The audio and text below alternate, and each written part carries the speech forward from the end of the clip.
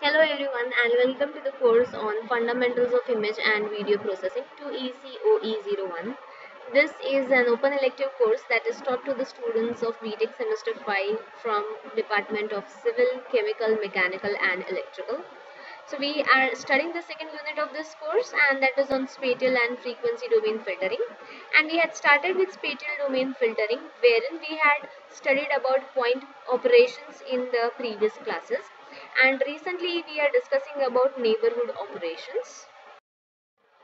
So we had seen that in neighborhood operations what we call as filtering under spatial filtering there are two types one is smoothing and the other is sharpening filters.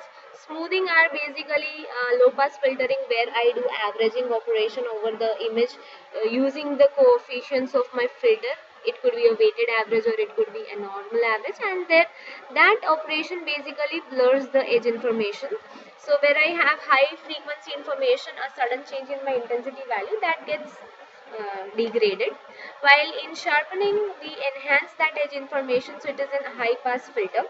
In the last class we had seen and talked about laplacian filter that is a second uh, order derivative now in today's class we're going to talk about high boost filtering. So we had seen that uh, the sharpened image that is generated by unmasked, uh, unsharp masking and Laplacian, they usually have the average uh, background intensity near to blank.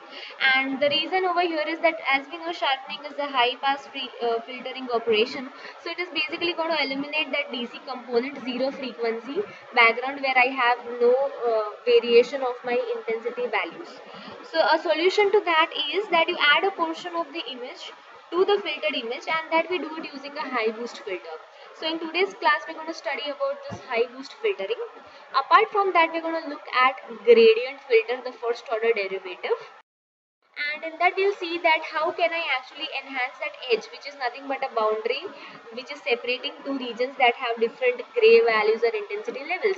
So we use derivative operator on this and most of the edge detection techniques like Robert Prewitt Sobel actually uh, um, take the magnitude of first uh, derivative they calculate it within a neighborhood around the pixel that we are trying to you know detect the presence of an edge in. So depending on what are the neighbors that i am considering i have my gradient operators either as robert prewitt or sobel. So we would be uh, studying each of them in detail and then we would be implementing all of them in matlab and we'll try to analyze the difference uh, in um, all the three gradient operators.